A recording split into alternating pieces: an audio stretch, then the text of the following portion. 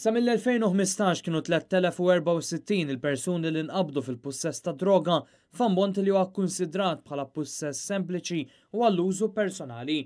Dan wara li fil-Parlament fl-2015 il-Gvern u l-Oppożizzjoni qablu dwar numru ta' emendi relatati mal-pussess tad-droga. Fost dawn l-emendi dik li min jinqabad fil-pussess sempliċi tad-droga jgħaddi quddiem tribunal immexxi minn social worker u mhux quddiem qorti. Tribunal li joħroġ multa u mhux sentenza ta' ħabs.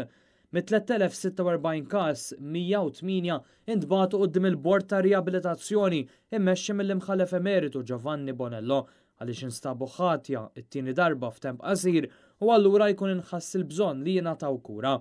Mill-Qorti kien hemm 107 każi oħra li ġew riferuti lill-Bord ta' Riabilitazzjoni Minn dawn, kien hemm 39 każ li ġew dikjarati li ħelsu mill-vizzju, li jfisser li rebħu l-opportunità li quddiem il-Qorti jieħdu sentenza li ma tkunx bilfors waħda ta' ħabs.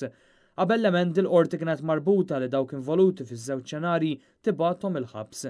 It-tielet riforma kienet li nħolqot distinzjoni bejn il-kannabis u drogi oħra.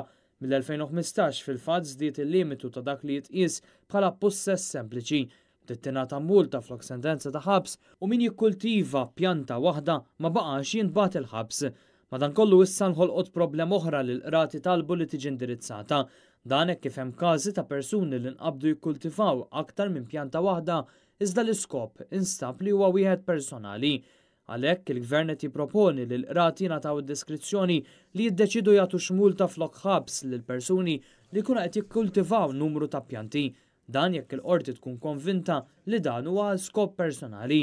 Madankollu s'issa l-Gvern ħoloq l-abbozz tal-emendi iżda għadu ma kkonsulta ma' ħadd. Aħna qed nippubblikaw l-abbozz lill-media u naturalment minn issa sa meta jerġa' jiftaħ il-Parlament se nkun qed nisma' l-kummenti ta' kulħadd. Il-Parlament mistenni jiddiskuti dawn l-emendi f'Jannar wara l-waqfa ta' żmien il-festi.